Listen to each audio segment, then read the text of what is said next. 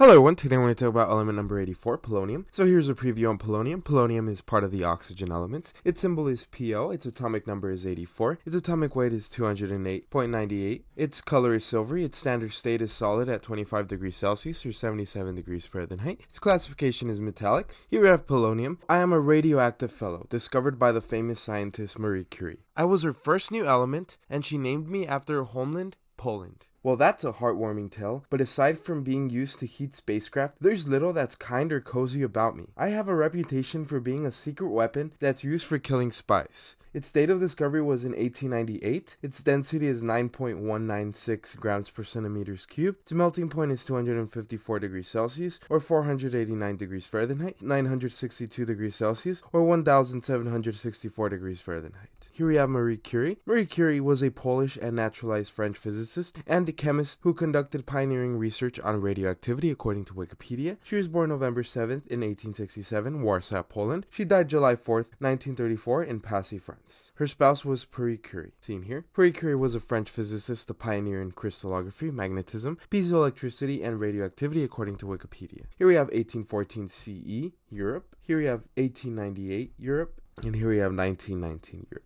A rare and very dangerous metal, polonium is a powerful source of deadly radioactivity. It has been used in the triggers for atomic bombs. Its atomic mass is 209, its state is solid, its discovery is 1898 by Marie Curie. Here we have uraninite, an ore of polonium. This is for reference and educational purposes. So polonium, a radioactive silvery gray or black metallic element of the oxygen group, or group 16 in the periodic table, the first element to be discovered by radiochemical analysis, polonium was discovered in 1898 by Curie and Marie Curie, who were investigating the radioactivity of a certain pitchblende, a uranium ore. Here we have pitchblende. Formerly pitchblende is a radioactive uranium-rich mineral and ore with a chemical composition that is largely UO2, but because of oxidation typically contains variable proportions of U3O8. Radioactive decay of the uranium causes the mineral to contain oxides of lead and trace amounts of helium, according to Wikipedia. The very intense radioactivity not attributable to uranium was ascribed to a new element, named by them after Marie Curie's homeland, Poland. The discovery was announced in July 1898. Polonium is extremely rare. Even in pitchblende, 1,000 tons of the ore must be processed to obtain 40 milligrams of polonium. Its abundance in the Earth's crust is about 1 part in 10 to the power of 15.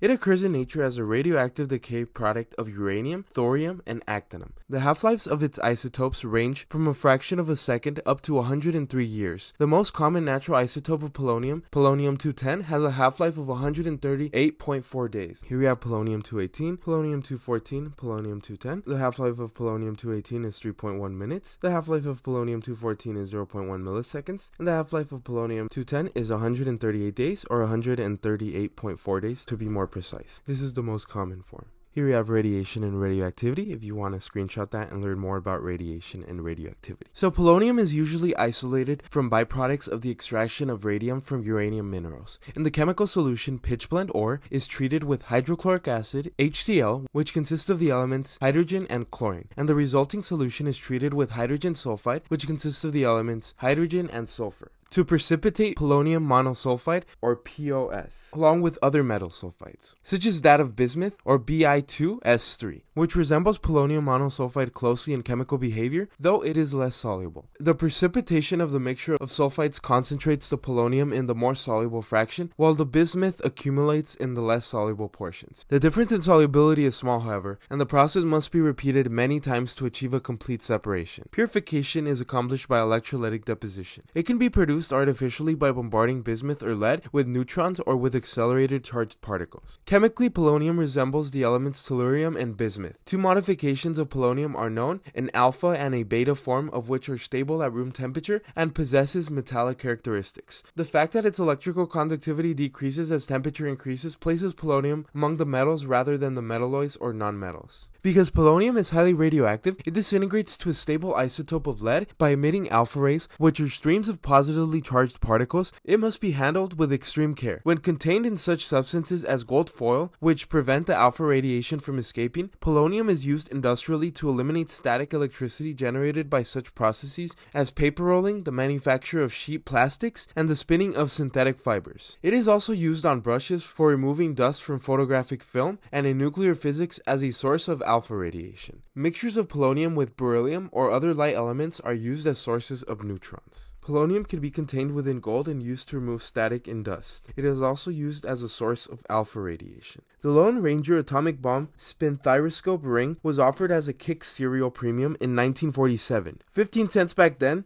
today these sell for more than $100 as proof of how different attitudes towards radiation and the bomb once were. Here we have spinthariscopes from the 1940s through 1960s, often contained polonium sources.